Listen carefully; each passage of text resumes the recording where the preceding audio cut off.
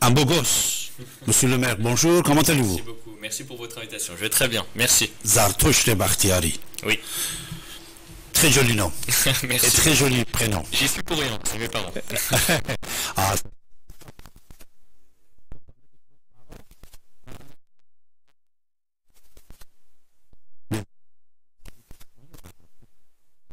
suis totalement d'accord. L'accompagnement des parents, l'encadrement par les parents est, est vraiment primordial dans, tous les, dans, toutes les, dans toutes les circonstances. L'éducation, c'est vraiment la clé. Et l'encadrement familial, euh, voilà, c'est aussi une clé pour réussir par la suite. première chambre de bataille.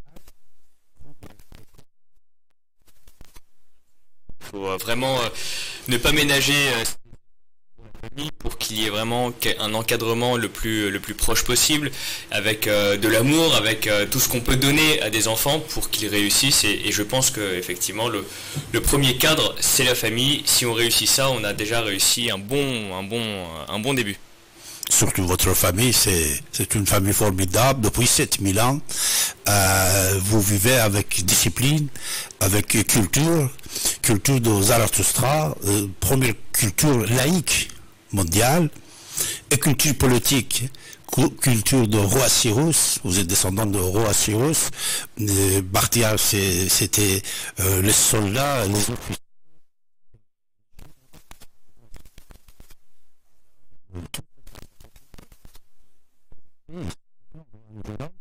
de 30 Oui, moi je pense que effectivement la culture que l'on porte avec soi contribue aussi à façonner ce qu'on a aujourd'hui et ce qui on est aujourd'hui. Euh, voilà, moi j'ai grandi dans une culture qui est diverse, avec euh, euh, effectivement des parents qui sont venus euh, d'Iran, donc nécessairement j'ai un regard aussi sur ce qui se fait aussi en Iran, sur la culture iranienne, bien que je sois né en France et que la culture française soit exceptionnelle aussi. Donc c'est le mélange des cultures, des histoires, des parcours des uns et des autres qui fait que on, a, on se nourrit de choses très riches et qu'on arrive à bâtir quelque chose d'encore plus beau en mélangeant les cultures.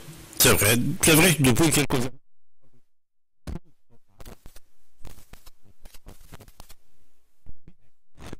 Vous êtes euh, français.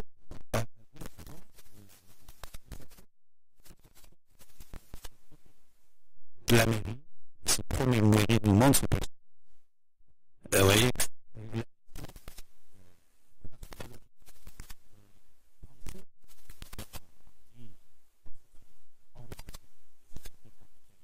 vous connaissez l'ancien ministre, l'avocat, comme vous, à plusieurs fois quand il était mon invité, euh, culture que nous avait de la Perse.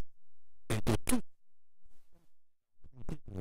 Euh, cette civilisation, quand il racontait pour moi, j'étais étonné. J'étais étonné. Euh, mais heureusement, aujourd'hui, la civilisation c'est de l'autre côté s'éteint, mais de ce côté-là, c'est allumé en Occident, civilisation moderne. Monsieur le maire, si vous permettez, avant de parler de votre association, non, non, peut-être ça serait mieux de parler de votre association, parce qu'il y a déjà dix ans, vous créez votre association euh, à Neuilly-sur-Marne, que moi, j'habitais, j'y habitais une semaine à Neuilly-sur-Marne. J'avais loué un appartement dans les années 80, exactement l'année 83. Euh, 1983, j'ai loué un appartement juste en face de la cimetière, dans le petit trou, j'ai oublié le nom. Euh, j'ai loué un appartement, euh, quand j'ai loué, et je, euh, je prends les, les gens entrent dedans, je savais pas que l'autre côté c'était le cimetière. À la fin, j'ai pas eu peur, j'ai dit je vais y rester, mais seulement une semaine. J'ai pas eu la chance de rester. Voter pour vous. Mais vous, vous avez créé votre association il y a déjà 10 ans, c'est-à-dire euh, vous avez pensé à commencer d'entrer dans la vie politique, au moins de votre ville. Alors moi j'étais... euh, L'intérêt pour la politique, il a commencé très jeune pour moi. Euh, quand euh, j'avais à peine 4-5 ans, que j'étais en maternelle, quand on me demandait ce que je voulais faire plus tard dans la vie, je disais que je voulais devenir Jacques Chirac. Je savais pas ce que c'était comme métier, mais je voulais devenir Jacques Chirac. Pourquoi? Parce qu'on était en 1994-1995, c'était l'élection présidentielle et j'étais fasciné par ce bonhomme qui était vraiment proche des gens, qui avait une certaine proximité, une euh, un charisme qui faisait que beaucoup de personnes étaient enthousiastes aussi. Donc c'était une première élection présidentielle. Moi j'étais déjà fasciné par ça. L'intérêt pour la politique, je l'ai toujours eu, parce que pour moi, c'est quelque chose de très intéressant et il faut que tout le monde s'intéresse à la politique. C'est la vie de la société, c'est la vie de la cité dans laquelle on est et chacun doit pouvoir y contribuer. Alors je peux comprendre qu'on n'ait pas tous le temps, l'envie, l'énergie de se consacrer à la vie politique. Mais moi, je l'ai eu et j'ai eu cette chance-là. Euh, ensuite, j'ai fait des études de droit, donc à Assas à Paris. Euh, donc une matière qui est très politique aussi, puisque le droit, c'est la structure, c'est la colonne vertébrale de toute société démocratique. Et dans toute société, même non démocratique, le droit est utilisé à des fins politiques.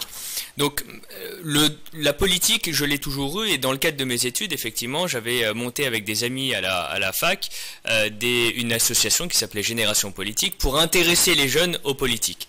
Notre but, c'était pas de les orienter d'un côté ou de l'autre, c'était de les faire voter et de les faire prendre conscience du fait que le vote est très important. Notre slogan, entre guillemets, c'était de dire on veut que les jeunes votent, bleu, blanc ou rouge, mais on veut qu'ils votent.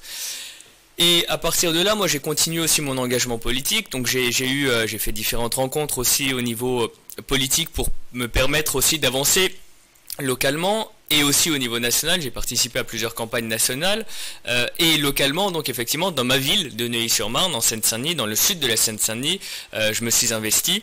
Euh, donc en 2013-2014, j'étais tête de liste déjà au municipal. Pendant six ans, j'étais chef de file de l'opposition, donc ça a été très dur parce que j'avais 23-24 ans contre un maire qui avait 75-76 ans, qui avait déjà 36 ans de mandat derrière lui.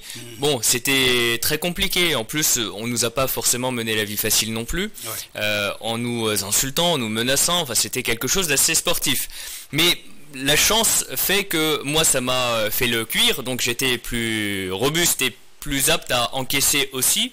Et en parallèle, les études de droit, j'étais avocat, donc mon métier aussi faisait que le contact et la confrontation d'idées et du verbe, euh, je l'avais, et pour moi, c'était pas vraiment une difficulté. Et à partir de là, effectivement, on a monté une équipe, on a euh, voulu changer les choses, parce qu'on voyait qu'il y avait beaucoup de choses dans cette ville qui avaient à changer.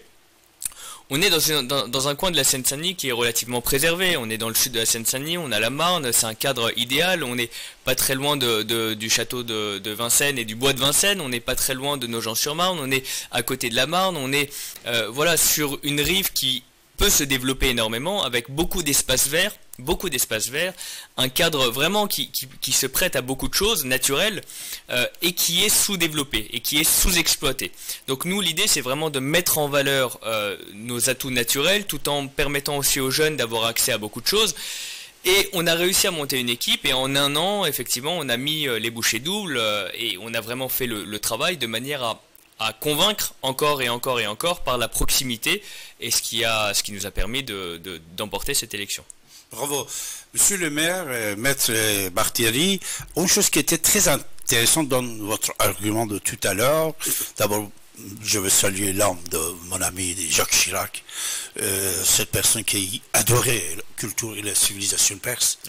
Et j'ai plusieurs courriers de lui. et qui s'exprime, euh, euh, sympathie qu'il avait pour Sadi, pour Ferdowsi, pour Persepolis. Et chaque fois qu'il me voyait, il disait ah, ah, ah, la Perse 7000 ans de civilisation, il disait ça. Et dans son bureau à la mairie de Paris, il avait euh, un grand livre de Sadi en français et en anglais que je l'avais offert. Alors, une chose qui était très intéressante et qui peut être éducative, ce qu'on dit depuis toujours on dit depuis toujours les familles qui savent comment on doit vivre et comment on doit éduquer leurs enfants. Depuis le premier jour, ils apprennent à leurs enfants ce qu'ils veulent devenir. Votre ancêtre roi Cyrus, votre grand-père, enfin, puisque vous êtes de, la même famille que roi Cyrus, Bartiali, c'est même euh, J'ai pas remonté l'arbre généalogique. c'est l'histoire. c'est l'histoire. Et Achaménide, c'était des Bartiali. C'est comme les Kurdes, qui sont le premier peuple de la Perse. Bartial, c'est le peuple de dynastie de Cyrus, de Cyrus, de Kourosh. Alors, d'un côté, vous avez ça, de l'autre côté, vous avez euh, Zarathustra, la lumière et première pensée laïque du monde, que tous les grands philosophes, qu'ils soient Pythagore, Aristote, je ne sais pas qui, tous, ils ont bien noté, noir et blanc, dans leurs histoires, qu'il adorait Zarathustra et qu'ils ont appris beaucoup de choses de lui. Et même, vous allez voir que les de la liberté que nous avons ici à Paris, on a offert la même chose aux Américains à New York. Cette statue, c'est un visage de Mitra, premier Zarathustra. La tête, c'est la tête de roi perse. À la main, c'est le torche, cette torche, la torche, c'est le feu de Zarathustra. Et l'autre main, c'est le livre de Avesta. Voyez? Alors, ça, on apprenait toujours, comme dans les synagogues pour les juifs. Comme vous êtes juif, depuis l'âge de 3 ans, on prend la main, on vous ramène dans les synagogues pour apprendre. On apprenait aux enfants ce qu'ils devaient devenir. On n'imposait pas seulement un seul métier, non, au moins cinq. On disait à nos enfants, voilà, métier d'avocat, c'est défendre la liberté, défendre les individus. Médecin, c'est sauver la vie. Architecture, pour créer des pyramides et puis la police. Et récemment, vous êtes au courant, dans votre ville, on a découvert des, traces de 5000 ans de civilisation de la France à Nuit-sur-Marne. Alors, euh, on apprenait, on dit, parmi les cinq, mon fils, mon garçon, ma fille, tu dois choisir un. C'est pour ça, les familles comme vous, comme Sarkozy, mon ami également, comme, François Hollande, même comme Macron, quand ils sont petits, à l'âge de 5 ans, 6 ans, 10 ans, il sait ce qu'il va devenir. Sarkozy, quand il avait 10 ans, Madame André Malat, euh, il a dit, mon fils, quand on, l'avait demandé à l'école, qu'est-ce que tu vas devenir Il avait dit président de la République. Et il vient. Anne Hidalgo, alors vous êtes pour le compte, c'est autre chose, mais puisque moi, euh, je, suis un journaliste, écrivain, amitié avec tout le monde. Anne Hidalgo, il y a déjà 20 ans, quand il était mon invité dans le studio, et elle n'était même pas encore membre municipal de Paris 15 Et en parlant ensemble, j'ai dit, alors tu vas devenir euh, candidate, euh, la mairie, 15e, euh, peut-être dans quelque temps, maire de Paris 15e. Il a dit quoi, David? Maire de Paris 15e Je dis oui. Il a dit non, maire de Paris. Et après 20 ans, il est arrivé. C'est-à-dire, on programme nos, enfants, on programme euh, la vie de nos enfants, comme vous avez dit au départ. Alors ça aussi, c'était grâce à euh, votre histoire, votre famille, que vous étiez bien enseigné. La plupart des gens, maître Bartieri, vous savez, il prend son baccalauréat, il ne sait pas où il doit aller. Moi, j'ai rencontré pendant ma vie puisque je suis président, je suis président de l'association, plusieurs milliers de personnes, son enfant, il a fini. Son collège, son lycée, mais il ne sait pas ce qu'il va devenir. Il n'a pas encore prendre la décision du métier qu'il va avoir et de la continuation d'études. Ça, c'est un point que ça soyait, la lumière était dans votre famille, j'espère que ça va continuer, mon cher euh, euh, jusqu'à la fin de votre vie. Alors, maître, actuellement, heureusement ou malheureusement, vous êtes devenu maire dans une situation assez délicate. Assez délicat, national et international. Avant tout, ce problème de coronavirus, Covid-19 qui a touché beaucoup de choses, et surtout, tout le monde est le victime, et surtout, le poids de ce problème, c'est sur votre dos à vous, comme monsieur le maire, et tous les autres maires. Parce que tout le monde va venir vous voir, monsieur le maire, monsieur le maire, je travaille plus, monsieur le maire, monsieur le maire. Les décisions que vous devez prendre. Comment vous pensez déjà que vous pouvez gérer ce problème et ce problème, à votre avis, deuxième question, est-ce que ça va continuer combien de temps, à votre avis? Alors moi je ne suis pas médecin, donc je, ne peux pas vous dire, et je pense que même les plus grands médecins ne s'aventureraient pas à vous faire des pronostics sur la durée de la crise. Parce qu'on peut penser certaines choses aujourd'hui, les savoirs de la science diront autre chose demain, et on est en perpétuelle évolution là-dessus, même sur les vaccins, certains disent qu'on a trouvé des vaccins, d'autres euh, pas du tout, euh, voilà. Donc c'est un sujet qui est très complexe alors, d'un point de vue économique et sur un point de vue local, il y a plusieurs choses. le point de vue économique, bon, Bercy, le ministère des Finances, le, gouvernement investit quand même de manière assez importante de manière à permettre aux entreprises euh, de euh, ne pas s'effondrer. Malheureusement, il y en a beaucoup qui ont, ont, déjà mis la clé sous la porte parce que la situation économique est extrêmement Surtout les petits commerces. Hein. Absolument, les petits commerces ont, les premiers souffert parce que parce qu'on aide le gros, mais les petits. Les petits avec, alors effectivement, avec les charges et, toutes les exonérations. Alors quand c'est des suspensions pendant quelques mois, bon, c'est une chose, mais mais après la suspension, on va devoir les, les, payer à nouveau. Il y a des exonérations qui sont euh, relativement mineures par rapport à ce qui est, euh, ce qui, ce qui, ce qui coûte aux entreprises. Maintenant, effectivement, c'est la société de manière globale qui est mise à contribution. Nous, localement, on a pris quand même un parti, c'est de ne pas arrêter de vivre. Euh, et donc on essaye d'accompagner la vie autant qu'on peut dans la situation actuelle. Le marché, il est ouvert. Par contre, il est encadré, donc masque obligatoire à l'intérieur, gel hydroalcoolique quand on y est, avec du plexiglas partout, avec des distances entre les, stands et les, commerçants et les, passants. Bon, parfois c'est compliqué à faire euh, respecter, mais il faut le faire. Euh, on a organisé des activités aussi pour l'été, pour les enfants, parce qu'il y a beaucoup de personnes qui ne peuvent pas partir en vacances, parce qu'il n'y a pas de vol, parce que ça coûte beaucoup plus cher, parce qu'on n'a plus l'argent non plus pour euh, se payer des vacances. Donc on a organisé beaucoup d'événements localement de manière à permettre à toutes les familles et à tous les enfants notamment d'avoir des activités. Donc ça a commencé le 1er juillet avec une première phase jusqu'à début août et de début août jusqu'au 29 août où on a plein d'activités. Tous les week-ends, tous les soirs, il y a beaucoup d'activités qui sont organisées. Pour ces activités, pareil, ce qu'on fait, c'est qu'on distribue des masques, on demande à chacun de respecter. Alors c'est compliqué parce que parfois il y a des populations qui ne comprennent pas forcément, euh, des jeunes notamment, qui euh, ne veulent pas forcément. Dans votre vie. Évidemment, on a eu un problème, un problème assez grave. Il y a une, infirmière qui a voulu faire respecter le port du masque, notamment dans un bus, et qui s'est fait agresser sauvagement par euh, deux, deux, trois jeunes. Donc c'est compliqué parce que quand on, on est tous responsables, là dans cette histoire-là, on est tous responsables. Donc quand quelqu'un un maillon de la chaîne globale est défaillant, effectivement, ça, remet en cause tout l'équilibre. Euh, aujourd'hui, les entreprises ne comprennent pas pourquoi certaines personnes ne respectent pas les gestes barrières et que eux n'ont pas le droit d'ouvrir ou qui doivent subir des contraintes extrêmement lourdes. Donc en fait, il faut vraiment, je pense, sensibiliser au maximum les personnes faut pas oublier quand même qu'il y a 3-4 euh, mois, on était tous confinés. Euh, on sort d'une crise qui était épouvantable et de quelque chose que personne n'a jamais eu auparavant. Euh, on a été confinés pendant deux mois durant, c'était une épreuve terrible pour beaucoup de familles, pour beaucoup d'entreprises, pour, pour tous. On a tous traversé ça d'une certaine manière et on a tous des membres de la famille qui soit ont été contaminés, soit on connaît des gens qui ont été contaminés, qui ont subi, on connaît tous des histoires particulières qui font qu'on doit plus que jamais prendre conscience de la gravité de la situation. Maintenant, il ne faut pas s'arrêter euh, de vivre.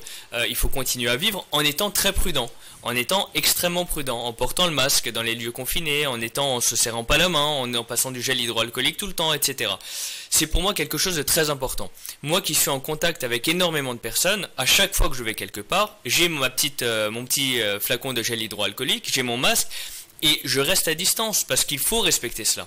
Si on ne le fait pas, euh, demain moi je suis contaminé, je contamine 25 euh, autres personnes dans la même journée, donc c'est pas possible. Donc voilà, il faut vraiment que chacun soit responsable et prenne la mesure de, de des choses.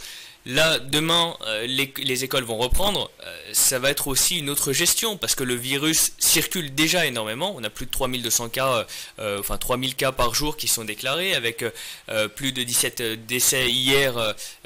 voilà, on, on sent C'est-à-dire même avec la chaleur, le virus existe. Mais c'est pas une histoire de chaleur et après la difficulté aussi, c'est qu'on l'a vu pendant la canicule, il y a beaucoup de personnes qui ne pouvaient pas mettre le masque. Moi, à titre personnel, quand j'allais sur les activités à l'extérieur et que je devais porter le masque avec la canicule, c'est extrêmement, extrêmement dur.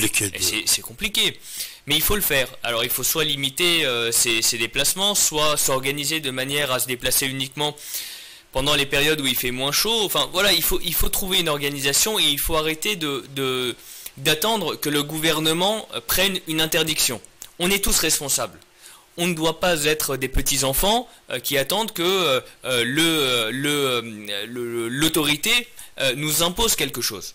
C'est à nous tous d'être responsables. Et c'est compliqué comme message à, faire passer. Mais sans cela, on est parti à nouveau pour des semaines et des mois de crise euh, extrêmement compliqué. Moi, je pense vraiment aux, petites entreprises qui souffrent de ça quand on voit que les gens à l'extérieur ne respectent pas les gestes barrières. Bon, euh, moi, je, suis entrepreneur, je me dis, mais je, suis en train de, mettre la clé sous la porte euh, à cause d'irresponsables. Et, et, pour moi, c'est vraiment quelque chose de, dramatique. Donc, il faut vraiment un seul message soyons tous responsables et faisons attention. Mes chers amis, je suis tellement ravi de recevoir aujourd'hui ici maintenant Maître Zartoshte Bartiari, maire de sur Marc, je suis tellement ravi, mon cher maître. Merci. Euh, mon cher maître, vous savez, euh, dans la politique nationale internationale, toujours nous avons deux sortes de politiciens. Première, ils ne parlent pas beaucoup. Ils n'ont pas le courage de dire certaines choses. Ils sont un peu discrets, isolés dans certains propos qui peuvent toucher quelqu'un ou non. Et l'autre, qui dit tout, oh, qui parle, qui crie. Oh, de temps en temps, il va y avoir des échecs. Euh, par exemple, euh, nous avons des exemples même jusqu'au président. Les présidents qui parlaient trop, euh, alors on les attaquait aussi plus. Ah, qu'ils soient ministres, sénateurs, députés, maires, etc. Alors, c'est vrai que Zartoshte Bartieri, est encore jeune, euh, il vient de prendre son métier de maire il y a déjà quelques mois. Euh, on ne va pas le faire tomber dans les, dans les camps oh, des, politiciens euh, un peu... Moi, je dis les choses. Moi, j'ai pas de choses je, dis, je dis les choses. Mais il faut, quand on est un politique et qu'on est responsable, il faut mesurer le poids des mots. moi, en tant qu'avocat, c'est une très bonne formation. J'ai été et je suis toujours, parce que quand on est avocat un jour, on l'est toujours. Euh, je connais le poids des mots et je sais la responsabilité des mots, de chaque mot. Donc, je dis les choses. Quand il faut dire les choses, il faut avoir le courage de le dire. Mais par contre, il ne faut pas tomber dans l'excès non plus. Donc, la caricature, pour moi, euh, ça ne m'intéresse pas. Euh, dire les choses avec énergie et conviction, ça, je le dis, j'ai pas de difficulté. Alors, puisque je vais dire tout ça pour arriver à la question, vous savez que même dans le métier d'avocat, David Abbassi, il connaît beaucoup d'avocats la même chose que je viens de dire concernant les politiciens. Et les avocats qui ont peur de défendre un dossier, les avocats que moi-même, pendant 40 ans que je suis en France, euh, j'ai constaté, euh, les avocats qui... Mais au moment que tu le donnes le dossier, ah, dès qu'il le regarde, le dossier, non, non, non, non, ça je ne veux pas. Et même, j'étais témoin que l'individu, il accepte certains dossiers, mais dès qu'il entre, il vient de dire non, non, désolé, je ne veux pas prendre ça. Et moi-même, comme témoin, on peut dire, ou comme journaliste, plusieurs fois, j'étais assis dans les chambres en France. J'ai constaté le juge, le président, il disait des choses que même le greffier, il venait murmurer dans l'oreille euh, du président. Comme quoi, monsieur, après, il changeait d'avis. Mais les avocats, Beaucoup de fois, je vois qu'ils avaient peur de dire ce qu'ils voulaient le dire. Une fois, je veux dire, pour arriver, une fois, il y avait 15 avocats.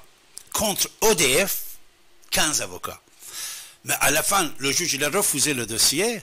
Moi, je suis témoin dans la salle. Parce qu'elle m'avait téléphoné, elle m'a dit, David, viens, tu dois voir ça.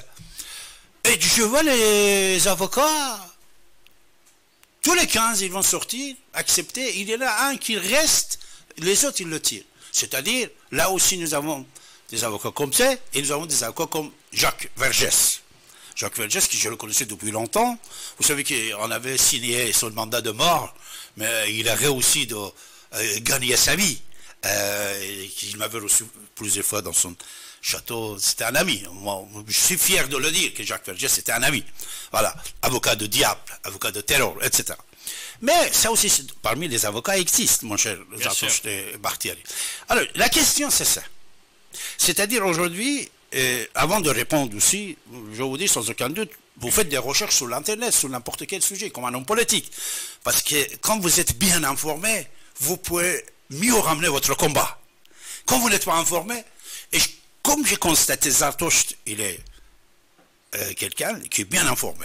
Surtout que quand les gens comme Valérie Pécresse, ils m'envoient des messages comme quoi il faut soutenir Zartocht, euh, ce n'est pas de n'importe quoi. Hein. C'est-à-dire, vous êtes quelqu'un qu'on compte sur vous. On compte sur vous. Pour pouvoir compter sur vous, vous devez être toujours informé, même sur les informations qui ne sont pas diffusées à la télé, à la radio, etc. On doit aller, actuellement, comme vous savez, depuis toujours, il faut aller chercher les informations. Alors, concernant le coronavirus, il y a beaucoup de polémiques, qui soit patron de parti travailliste, Jérémy, en Angleterre, qui soit, qui soit euh, première puissance du monde, si on est pour le compte, c'est autre chose. Première puissance mondiale, Trump et ses conseillers qui ont dit des choses sur Covid-19, sur certaines personnalités de la mondialisation, etc. Tout ça, je viens de vous dire, puisque je veux savoir l'avis de maître Zartouche de Barthiori sur Covid-19. Est-ce que ce virus est créé, fabriqué Oui, il est arrivé comme ça? Je vais vous dire les choses très clairement. Moi, je ne suis pas un scientifique et je ne peux pas m'avancer sur des choses que je ne maîtrise pas. Quand vous dites que euh, effectivement il faut s'informer, moi je m'informe et je regarde tout.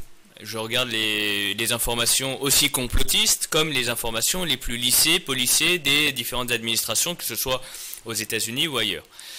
Euh, il ne faut pas tomber dans euh, la manipulation et dans les guerres entre les différentes puissances qui essayent de manipuler. Alors on le voit, il y a des manipulations dans tous les sens. Il y a euh, euh, Facebook qui supprime, censure, euh, qui supprime quelques informations et qui assume le fait de supprimer et de réguler quelques informations qui lui paraissent être des fake news, de, la désinformation. il y a d'autres médias qui ne veulent absolument pas tomber là-dedans. Il y en a d'autres qui diffusent des informations qui peut-être ne sont pas vérifiées moi, je ne suis pas un scientifique. Je vais vous dire une chose, je n'en sais rien. Je n'en sais rien. Et est-ce que j'aurai, même dans 2, 3, 4 ans, après avoir euh, épluché tous les rapports du monde, une conviction? Je ne peux pas vous le dire. Euh, quand on voit certaines choses de ses propres yeux, quand on comprend, voilà, on peut se dire, voilà, je peux affirmer fermement telle et telle chose. Là, les informations, elles circulent dans tous les sens. Euh, il y a des personnes qui, sont, qui se disent, qui s'autoproclament les papes de la sagesse et de mais qui au final, euh, deux jours après, trois jours après, sont complètement dégonflés. Euh, il y a aussi, malheureusement, un discrédit qui est jeté aussi sur quelques revues qui se disent scientifiques. Il y a eu, euh, pas plus tard qu'il y a quelques jours, un article qui a été publié sur une, une, une recherche, une pseudo-recherche totalement montée de toutes pièces qui a réussi à être publiée contre 77 euros dans une revue scientifique. Enfin, au bout d'un certain temps, voilà, il faut que tout le monde soit attentif et fasse attention. Euh, moi, je peux pas venir vous dire aujourd'hui, euh, je ne crois à rien, c'est un complot mondial. Je, ne peux pas vous dire ça. Je, j'en sais rien. Euh, je crois pas au complot. Enfin, de base, je suis quelqu'un qui qui me dit, enfin, j'ai, besoin de voir des choses factuelles devant moi pour dire oui ou non. je ne je ne juge pas les choses avec un bout de dossier quand vous preniez tout à l'heure l'exemple d'un avocat qui travaille son dossier, moi j'ai besoin de connaître tout le dossier. Ce que moi, mon client me donne, comme ce que la partie adverse écrit. Parce que ce qui, euh, ce qu'on nous apprend à l'école d'avocat aussi, c'est que euh, la personne à qui il faut faire le moins confiance, c'est votre client. Parce que votre client, il va tourner la vérité dans un certain sens, il va pas tout vous donner. Hmm. Donc ça, c'est une leçon très importante. Quand vous avez la contradiction, eh ben, vous pouvez comparer et dire, ah, mais attendez, là vous m'avez dit ça, mais lui, il m'apporte telle pièce, telle preuve. Qu'est-ce que vous en dites? Ah bah là, c'est un peu plus compliqué, parfois c'est fumeux. Donc il faut même envers les siens et ceux qu'on veut défendre, essayer d'aller chercher la vérité aussi de leur côté. Donc aujourd'hui, venir vous dire, moi j'ai telle conviction sur telle... Non, je n'ai pas de conviction, je n'en sais rien concrètement. Ce que je sais, ce que je vois, c'est que le coronavirus attaque beaucoup de personnes et qu'il met à genoux beaucoup d'entreprises et beaucoup de, euh, personnes. Euh, maintenant, il faut faire avec. Et moi, ma responsabilité en tant que politique, c'est pas de faire des conjectures sur euh, d'où ça vient, est-ce que ça a été créé, est-ce que ça n'a pas été créé. Moi, que, la responsabilité qu'on m'a donnée, c'est d'agir et de faire en sorte qu'il se diffuse le moins possible et d'avoir un cadre le plus euh, strict possible pour notamment enrayer cette épidémie. Voilà, euh, je ne sais pas si ma réponse vous satisfait, oh, mais en tout cas c'est celle que je vous fais. Non, on va pas insister, mais seulement, mon cher maître, monsieur le maire, vous êtes au courant que premier discours de notre président de la République Emmanuel Macron, premier discours, qui a annoncé le confinement, six à sept fois dans quelques minutes, moins de dix minutes, il a prononcé ce mot-là. Nous sommes en guerre. En guerre, oui. Alors quand on est en guerre, et après nous avons su qu'est-ce qui s'est passé, mais seulement pour votre information, puisque je vous aime bien. Les Artoches, je vous aime bien, monsieur, monsieur le maire, monsieur euh, l'avocat, euh, je vous aime bien. Par exemple, vous avez donné comme exemple le problème de Facebook. Actuellement, concernant la réélection de Donald Trump, ce n'est pas des, fake news, ce n'est pas de la blab, c'est des informations nettes et claires que je suis au courant. Vous voyez, comme beaucoup de choses qu'on est au courant. Euh, il y a une guerre entre Facebook et Twitter concernant Donald Trump. C'est tout. Après, il y a le patron, le patron de la mondialisation. Le patron de mondialisation qui est contre réélection de Donald Trump. Et cette personne, il est juré de ne pas laisser gagner, cette fois-ci, Donald Trump. Ce sont des choses, c'est la vérité qui existe, voyez. Euh, le patron, le patron de la mondialisation, qu'il m'a dit en 1994, il m'a dit, vous aviez quatre ans. C'est Jacques Chirac qui était les stars de l'époque. Il m'a dit, David, je suis le diable et le Dieu. C'est lui l'inventeur et la personne qui finance une partie de ce monde. C'est euh, les films de Star Wars. Star Wars, Jedi. vous voyez, vous, avez regardé. Ce... Pour ça, quand le président de la République il dit que nous sommes en guerre, mais après il ne peut pas le continuer. Pourquoi? Puisque, comme je vous ai dit tout à l'heure, c'est dangereux. Ce n'est pas pour lui, pour le pays, d'ouvrir certains business plans. Je ne parle pas de euh, complot, mais je parle de business plans. Parce qu'il y a des business plans écrits pour n'importe quoi. Quand on est intelligent, quand on est de bons savants, comme votre famille, comme j'ai parlé, je donne d'autres exemples, les individus qui décident de devenir ça, il y a un business plan derrière. C'est-à-dire, il y a un business plan qu'on écrit. Selon ce business plan, parmi toutes les universités, vous avez la chance d'aller à Assas. Vous voyez? Assas, vous savez, c'est une université qu'on rêve d'y aller. Il y a d'autres universités à Nanterre, à droite, à gauche. Et tout ça, c'est grâce à Dieu, bien sûr, grâce à la famille, grâce à euh, énormément de choses. Pour ça, euh, on va laisser tomber cette côté de cette histoire, mais n'oubliez pas, euh, la question de complot, complot c'est autre chose. On ne va pas y entrer, mais récemment, avec le nouveau monde, on va en parler, avec le nouveau monde, déjà, ça fait longtemps que le complot est accepté par tout le monde. patron de Toyota, M. Gon, le Libanais, Amérique latine, ce monsieur-là. Vous savez qu'avec lui, beaucoup d'hommes d'État, ils ont dit c'est un complot contre lui. C'est un complot contre Renault. C'est un complot comme industrie. Oui, c'est ce que lui a dit, en tout cas. C'est ce que lui a dit. Lui, il a dit, les autres aussi, ils ont dit. D'autres ont dit. D'autres aussi, ils ont dit. Alors, c'est un axe de défense, peut-être. J'en sais rien. Moi, Mais quand il dit les politiciens, histoire de François Fillon. Oui. Oh, histoire de François Fillon, même euh, président de la République, il a ordonné d'ouvrir encore mieux le dossier. Pourquoi? Puisqu'ils ont constaté qu'il y avait des complots dedans. Je ne sais pas qui est derrière, mais effectivement. Et le gars, qui, le, gars de question, le gars des vêtements, le, gars de costume, vous l'avez vu, il est venu dans l'émission de Jean-Jacques Bourdan, il a, il a dit que c'est moi qui j'ai fait ça, et je le fais exprès. C'était un complot. voyez? C'est-à-dire le complot, c'était accepté maintenant, puisqu'ils sont dans le nouveau monde. L'ancien monde, c'est terminé. On n'en parle plus. Le nouveau monde a commencé surtout à partir de janvier 2020. Maître euh, Zartoche Tebartieri, mon cher euh, monsieur l'avocat, euh, monsieur le maire, qu'en pensez-vous concernant le nouveau monde qui vient de commencer, ce nouveau monde, ce monde d'Amazon, Bill Gates? Vous voyez, vous êtes assis à la maison, vous ne pouvez pas sortir, vous avez fermé votre euh, Leclerc, euh, votre Ikea et tout, tout est fermé, mais seulement Jeff Bezos qui travaille. Il vous livre n'importe quoi.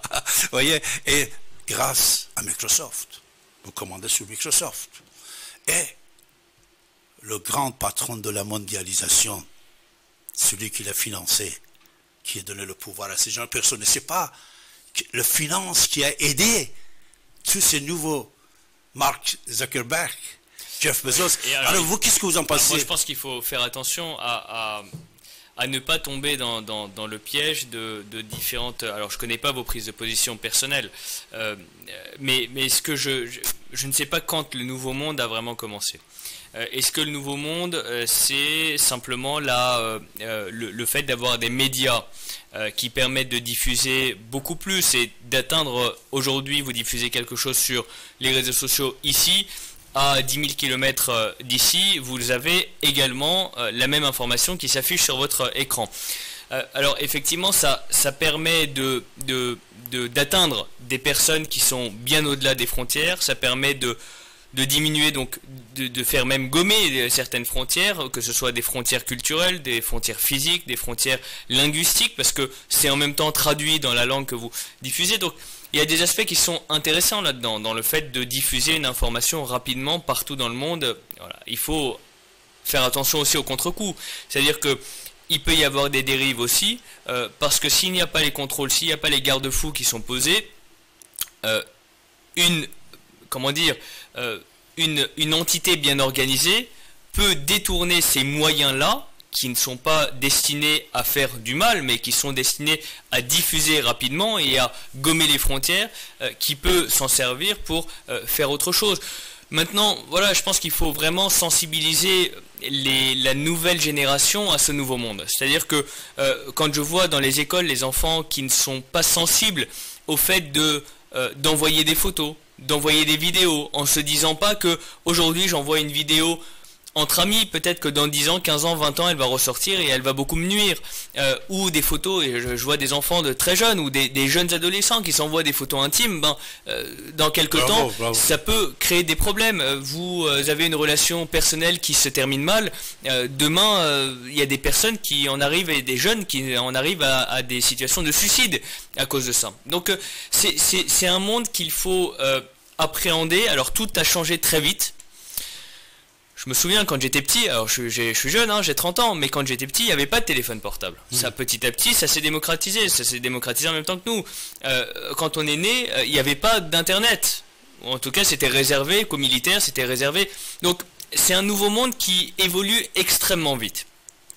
Avant, il y a 70 ans, 100 ans, euh, quand il fallait euh, avoir une, nouveauté technologique, bon, ça mettait 10, 15, 20, 30 ans pour se diffuser partout. Là, aujourd'hui, vous inventez quelque chose aujourd'hui, dans deux ans, elle peut être diffusée d'ici à Shanghai en passant par euh, Lima et par Washington. Donc, en fait, tout se diffuse très vite. Et c'est la réactivité et l'encadrement et l'apprentissage et l'éducation qu'il faut vraiment accentuer de manière à permettre à chacun de s'adapter et de faire avec ces outils-là. Alors il y a eu un nouveau, un nouveau monde aussi après le confinement, c'est-à-dire que euh, on s'est rendu compte pendant le confinement que peut-être on devait se recentrer sur certaines activités. Est-ce qu'on en a vraiment tiré les leçons en en sortant? J'en suis pas sûr. Ça Quelles sont ces activités à votre avis? Ça, a marché comment? Quelles sont ces activités qu'il faut le, lien avec euh, le lien avec soi, le fait de d'être euh, aussi le lien avec la terre, avec l'environnement. Le 12 commandement de Bill Gates alors. Non, euh, non, non. Vous avez lu son... Non, j'ai pas lu, mais le, fait d'être... C'est dedans, ça. Le fait d'être plus en lien aussi avec euh, euh, notre environnement, notre terre, le fait de se dire que on doit repenser le lien aux autres, repenser le lien avec la terre, repenser le lien avec les siens et repenser le lien avec soi, je pense que ça doit être un enseignement à tirer. Pendant deux mois, on a été complètement coupé. Alors, je me souviens, au début, on était tous complètement perdus. Personne ne savait ce qui se passait. On était tous dans une espèce de bulle. C'était un instant un peu, un peu, enfin même très particulier. On était tous suspendus. On ne savait pas ce que, euh, ce dont demain euh, sera fait. Et euh, on voulait avancer. Alors, ce nouveau monde, il a commencé peut-être il y a 15 ans. Et là, pendant le confinement, c'était encore une nouvelle étape de ce nouveau monde. J'en sais rien.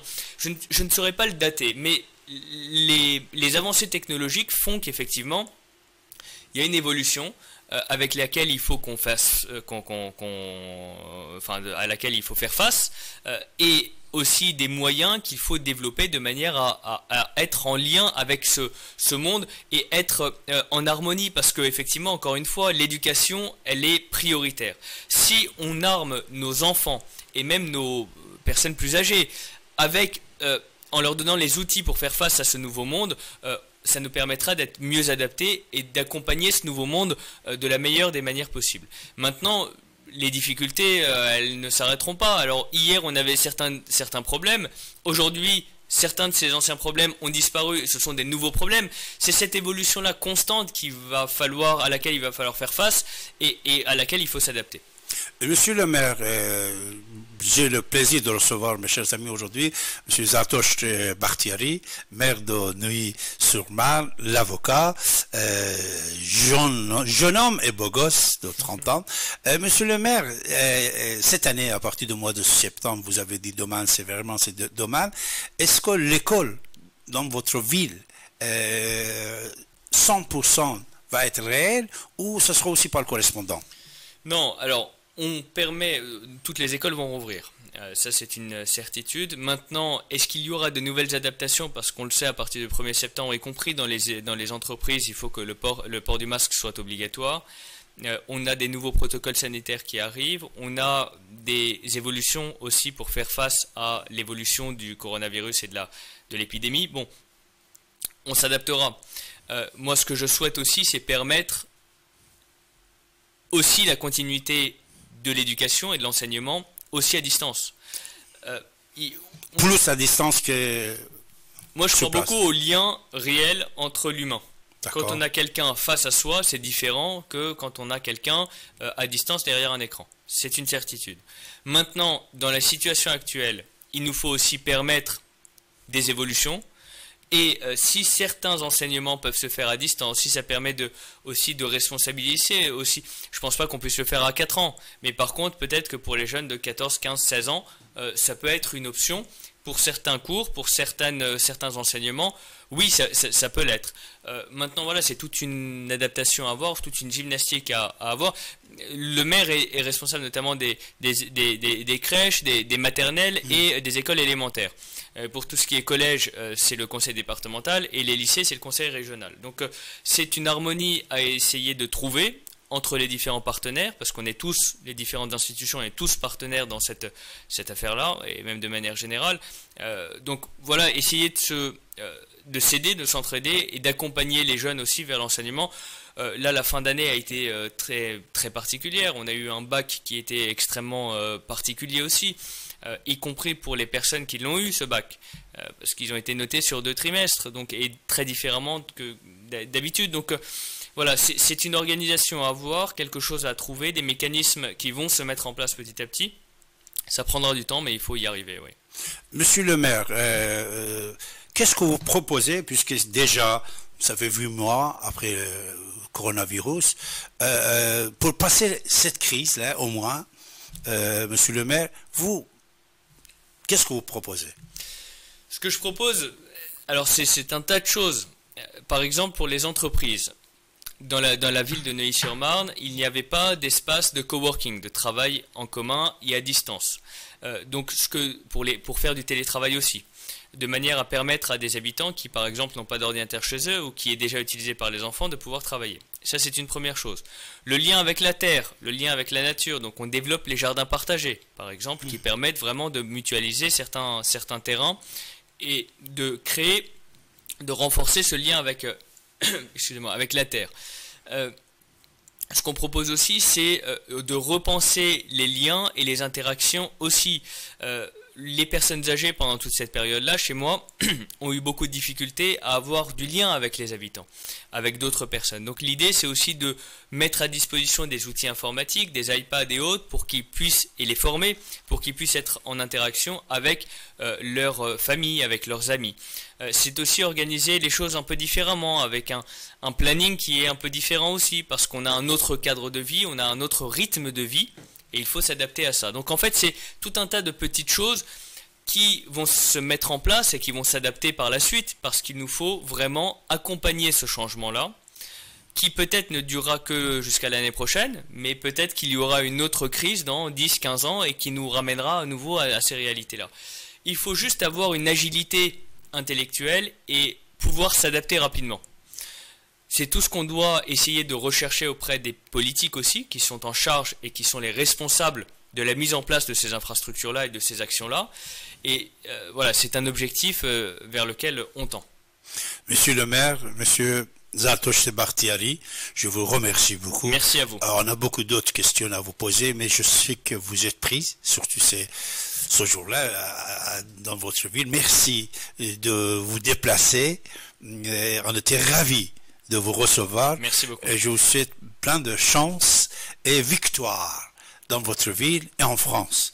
Et alors pour la France, votre dernier mot, c'est quoi? Pour la France et pour les Français il faut que la France se relève et qu'elle soit à la hauteur de la lumière euh, qui émane de sa culture et de tout son rayonnement qui, est le sien. Voilà, moi je, pense qu'on a énormément de potentiel en France, on a beaucoup d'énergie à libérer, on a beaucoup de, euh, de, lumière à diffuser. Et euh, donc ça rejoindra un peu vos mots introductifs sur la lumière qui doit rayonner et éclairer le monde. Monsieur le maire, merci beaucoup. Merci à vous. Merci. Ça, a été? Très bien. Merci.